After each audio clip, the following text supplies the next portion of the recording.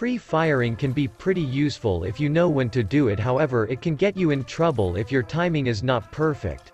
Do not pre-fire too early as by doing it you will end up wasting your bullets on mosquitoes the right time to pre-fire is when you can hear your enemy's footsteps close to you.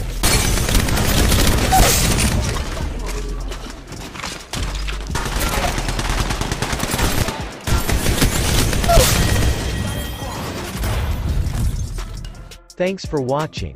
A like to this video will be highly appreciated and subscribe for more awesome content.